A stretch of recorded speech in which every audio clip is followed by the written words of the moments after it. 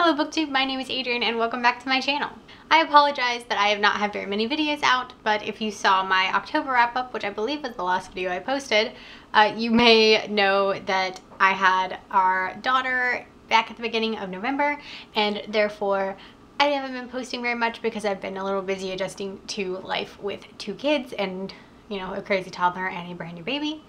So I haven't had a whole lot of time to sit down and film and I have been very busy to say the least. If you have two kids, if you have one kid, you know how busy they can be and how much energy they have. So again, I apologize that I haven't been able to keep up on videos. However, I uh, I am loving having two kids no matter how crazy life has gotten. So my daughter is sleeping in her rock and play right behind the camera and so I'm hoping she stays asleep that I can film this video. Um, if she doesn't, I'm to keep trying to film the video and just hold her. So you may see her, you may not, we'll see. But because she is sleeping right behind the camera and my son is sleeping in his room and has been for a couple hours, so he's due to wake up soon, I'm going to go ahead and get right into the video because I have a lot to talk about for this wrap up.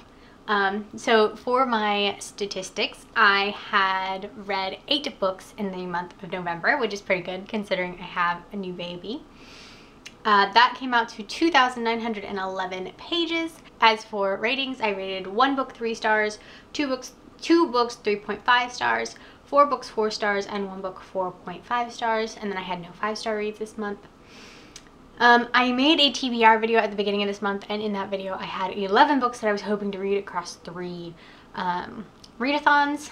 I managed to read three of those books, and uh, none of them were during the readathons. so I will link that video if you want to see it, even though it's not accurate anymore. But uh, yeah, I will link that in the cards if you are interested in checking that out and seeing what books I had hoped to read and didn't. However, I did end up taking part in the Minimoji Readathon at the end of the month, which was the 11th, which was the 23rd to the 30th, and I did get two books finished for that TBR, which completed eight of the emojis and they were the last two books I read of the month obviously so I will talk about those when we get there. But uh, yeah let's go ahead and get into the books that I read in November because like I said I'm trying to beat the kids sleep schedule. So the first book I read in the month of November was Reunited by Colleen Houck I believe is how you say that last name. Uh, I gave this book 3.5 stars. This book is the conclusion to her Reawakened trilogy, which if you uh, do not know what these books are about, the first book is called Reawakened, and it is about a girl named Lily who happens to be in the mu Museum of Natural History, I believe, at the same time that they are setting up for a new Egyptian exhibit with a mummy.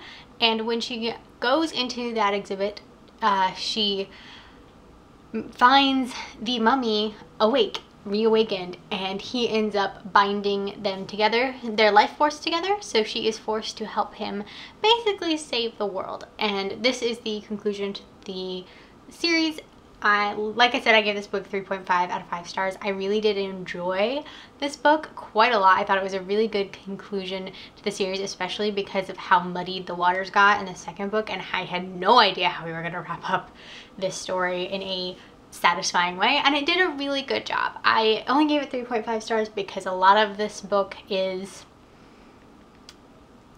kind of build up to a big thing at the end and it was kind of boring build up. It was a lot of setting the scene for how we're going to conclude and it was a little bit boring at times but um, because there's a whole storyline that I'm not going to tell you about because it'll obviously spoil it.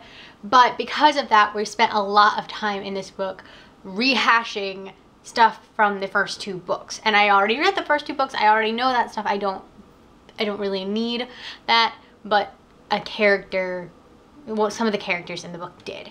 So it made for a lot of repetition that I really didn't care for. But it overall it concluded the story very well i didn't feel like there were any loose ends it was just a very good story so yeah 3.5 stars at the beginning of the month and then the next book i read in the month of november was actually the book that i had planned to read from for Bar-A-Thon that I didn't read during Bar-A-Thon, but I did read, and that is Ruby Red by Kirsten Gier. This is the first book in the Precious Gemstones trilogy, I believe. Um, this book was a reread for me. It was originally written in German and then translated to English, which is pretty cool. And I gave this book 3.5 out of 5 stars. I think when I first read it, I gave it a full 5 stars. So obviously my rating has dropped quite a lot, but I read this book for the first time back when I first discovered BookTube, which is like 2013 or something like that. So it has been a long time since I read this book and I have read so many books since then and grown so much as a reader and in what I like. And so I still really enjoyed this book, but it wasn't quite a five-star read for me anymore. And that's okay because I have no problem with that. It was still a really, really good book. Um, if you do not know what this book is, it's about a girl named Gwen and her family is has the genetics for time travel. And through some sort of math or something, they have been, the secret society that, uh, you know, they are a part of because they are have this time travel gene has predicted the dates of the birth of each of time travelers. Only one person in each generation gets the time travel gene and uh, Gwen's cousin is born on that date. She is the one they think is going to be that is going to be the time traveler and her cousin has been trained her entire life to be a time traveler. All the things she needs to know to get through with the goal of the secret society and to, you know, fit in in all time periods. She is trained in that and Gwen is not. And then suddenly Gwen ends up being the time traveler. She is the one who gets the genes because her mother lied about her birthday. What the day she was born because she wanted her to have a normal life. And so then Gwen is obviously thrust into this world of time travel and has no idea what she's doing. She doesn't have any of the training that her cousin did. Her cousin's kind of pissed off about the whole thing. And it's just a mess. And so she uh, is, you know, thrust into this time travel world and she meets uh, the male counterpart to her. Each generation has a male and a female. The male is from a different family line, a completely different family. Like I said, I gave this book 3.5 out of 5 stars. I really did love it. Um, there were a lot of times where I, Gwen was complaining about things that I didn't feel were necessary to complain about. The girl's got a lot of stuff to deal with. I mean, she's suddenly a time traveler and she didn't expect to be, she didn't want to be. And, uh, it's just um, her life is a mess. She's got a lot of legitimate things to complain about, but the things she chose to complain about were I didn't feel like were legitimate or necessary. But overall, it was a very good book. Uh, just like it was the first time, I just have matured a lot, so there were things that are a little bit more nitpicky for me, um, which took it down to 3.5 out of 5 stars. Um, so yeah, that was my second book of November. So the last few months I've been in a bit of a rereading kind of mood and so I continued rereading books this month because that's just what I wanted to read and I have no problem with that because I don't have a crazy number of books on my TBR anyway. So the next book I read was also a reread and that was The Heir by Kiera Cass. This is the fourth book in the series but I consider this the first book in a companion duology uh, for the selection because uh, it this book follows um, America Singer's daughter, Eadlyn, and America Singer is the main character from the, the protagonist of the first three books. This follows her daughter uh, as she goes through a selection. And so I, when I first read this book, gave it 5 out of 5 stars. Uh, upon rereading it, I gave it 4 out of 5 stars because, like I said, I have matured in my reading quite a lot and I no longer have a problem giving books that I really enjoy less than 5 stars. I used to think that if I was going to read a book and I really liked it, I had to give it 5 stars. It didn't matter if I had issues with it and I clearly don't think that anymore. So I gave this book 4 out of 5 stars. Um, Eadlyn drives me a little bit crazy, as I'm sure she drives everyone a little bit crazy, but all of the things that she does that drive me crazy are justified in her mind and I can understand why she is justified she feels she's justified in that but she was annoying. She just was. Um, the ending of this book uh, nearly killed me again the second time I've read it and it still nearly killed me. I love this book and this series altogether.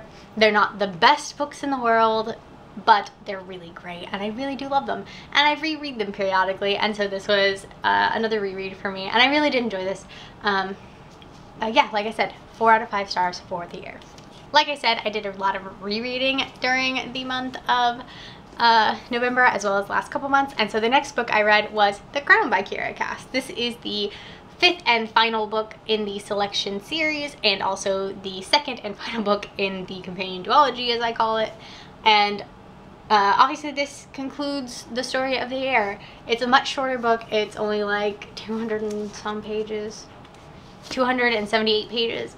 It's pretty quick read. I really enjoyed it. Uh, I gave this one four out of five stars as well. Again, the first time I read it, I gave it five stars. Second time around, I didn't give it five stars because I've grown as a grown as a reader. I don't know how many times I have to. I'm going to say that in this video, but hopefully, uh, that's last time. Probably not. I'll probably say it one more time. But I definitely enjoyed this one, and uh, that's all I really have to say about this one.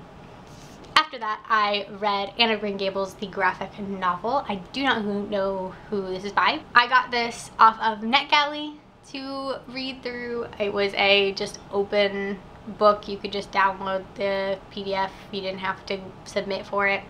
Um, so I read this arc off of NetGalley, like I said, and I really enjoyed it. I gave it four out of five stars. The art, the only reason I didn't give it five out of five stars is because the art style isn't for me. Uh, this is literally just the story of Anne of Green Gables, the book, told in a graphic novel. That it's literally exactly the same story. And I love Anne of Green Gables. It's one of my favorite classic books of all time. And so I really enjoyed seeing it in pictures in a graphic novel I really loved it but the art style was just a little too cartoonish for me but it was still really cute and I feel like I would absolutely buy this as a physical copy one day to read to my have my kids read through it with me because it's very cute and it's a great way to take in the story without having to read the physical book. So yeah, I gave this one four out of five stars. After that, I listened to the audiobook of Better Than New by Nicole Curtis. This is a nonfiction book, and this was one of the books that I had planned to read for TBR Takedown. I read it during TBR Takedown, but that was the only book I read during TBR Takedown, so it doesn't really count. Well I mean I guess it counts but I don't consider myself having done the readathon because I didn't actively participate in the readathon. But this was on that TBR this is a nonfiction novel. It's a memoir by about Nicole Curtis and uh, her time fixing up old houses. She has a show called Rehab Addict on DIY Network and I love her show. It's really good and it was very interesting to hear um, it was very interesting to hear about her life and what was going on in her life behind the scenes, you know, her life that was happening during the show. Like she was talking about houses that I've seen in the you know, in in the show that she had fixed up and worked on. And it was interesting like I said, it was interesting to see the things that were going on in her life, the the things that were going on that were hard on her um, but I ended up giving this book three out of five stars just because, I mean, it's a memoir, it's someone's life. I feel bad rating someone's life. But I gave it three out of five stars because mostly based on the audiobook. Nicole Curtis reads the audiobook herself and that was really cool to hear her, you know, voice talking about her life. But, um, yeah, I just, it wasn't, the audiobook wasn't, the audiobook and the book itself, I guess, were not formatted very well. Like they were kind of scatterbrained um, in format and the way things were laid out and the way she told things. And it was very vague which I get it's her life. She has the right to be vague. But also I'm kind of like well why'd you write a, a memoir if you're going to be vague about your life?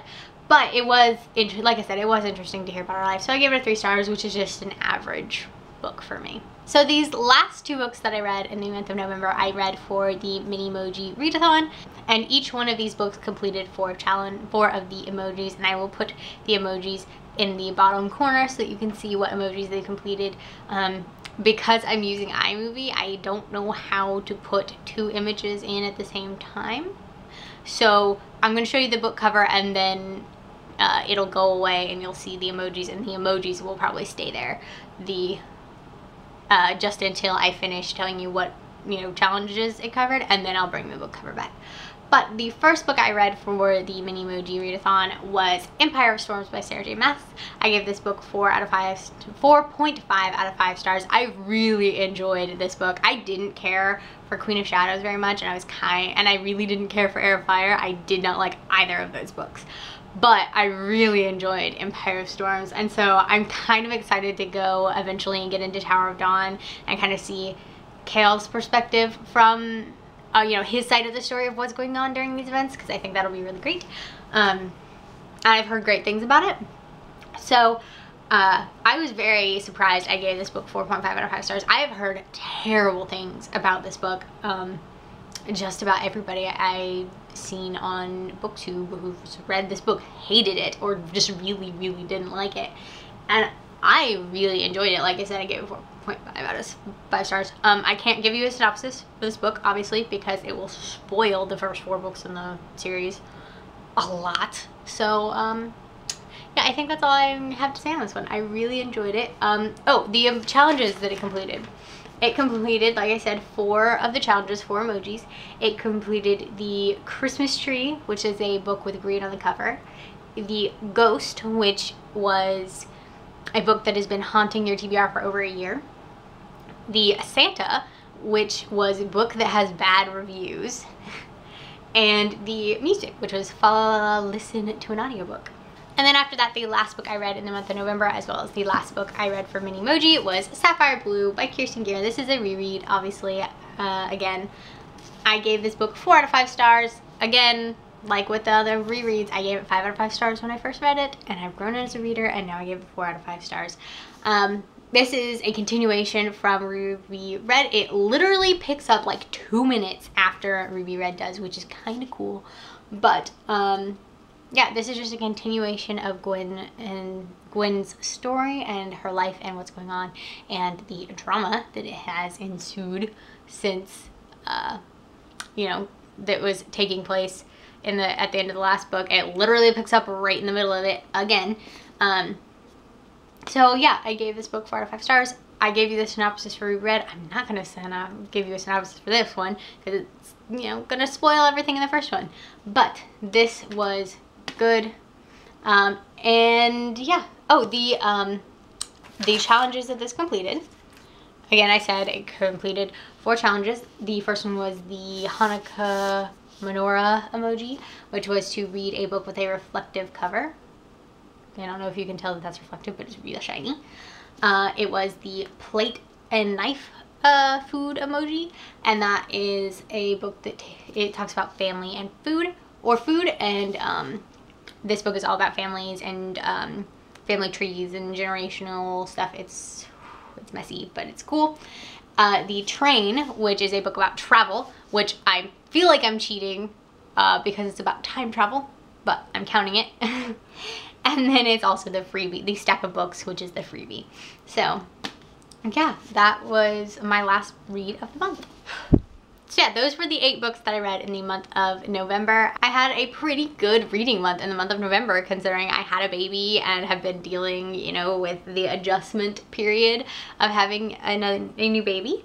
And uh, yeah, I, I feel like I did a really good job reading this month. Um, I wish I could have taken part in more of the uh, more of the readathons that I wanted to, but I did not get to. I don't think I'm doing any readathons in the month of December. As for what I hope to read in December, I don't really have a plan. Like I said, I don't do TBRs, but currently I am reading Outlander. I am almost done with Outlander. This is a reread because I want to try and get into Dragonfly in Amber and Voyager, which are two audiobooks that I already own. And my goal is to try and get my goal for 2018 is to try and get through all of the audiobooks I already have. Um, and that's because I have a lot of audiobooks on my phone that I haven't listened to and um, I constantly keep getting new ones that I don't read. So I really want to to get to them. The two big ones that are hindering that are the Outlander books and I read the Outlander for the first time in December of 2015 so it's been two years since I read it. And so I wanted to revisit it go through it again. I'm almost done with it so uh, look out for that on my December wrap up but uh, other than that I don't really have a set plan for December. Um, I've got a bunch I'm hoping to read some Christmassy or winter books I have one or two out from the library right now that are winter style that I'm going to try and read. I don't have them I'm in a corner. I'm not getting up to go get them to show you. You'll have to wait and see them in my wrap up hopefully. So yeah, uh, I think that is all that I have for this video for you guys today.